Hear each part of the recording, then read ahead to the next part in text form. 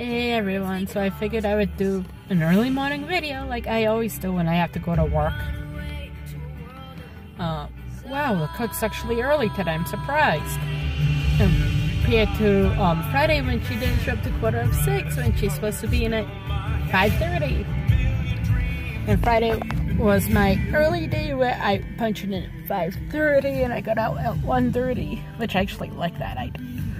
Uh, Anyway, so today's last night I slept like shit.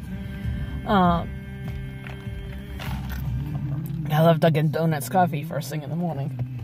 Even though lately they've been screwing up on my order, and I just don't feel like going back in and bitch about it. Um. Anyway, but the cook, she's a bitch. Uh, whatever.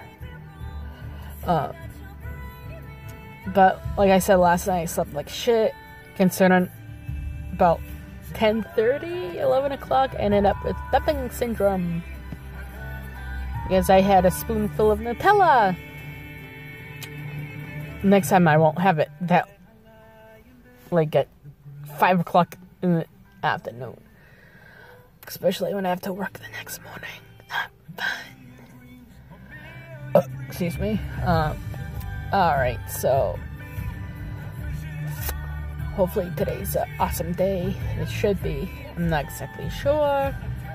Uh, I might do another video. Uh, who knows? Depending on how I feel when I get out of here.